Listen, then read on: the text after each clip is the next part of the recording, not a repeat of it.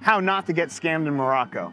So I always put one bill in here so that whenever it comes time to like haggling with people, I always say, this is all that I have and I can't give you any more. So my bottom, like the worst that I can do and the, the most that I can lose is what's in my wallet. But I actually have a lot more in my pocket.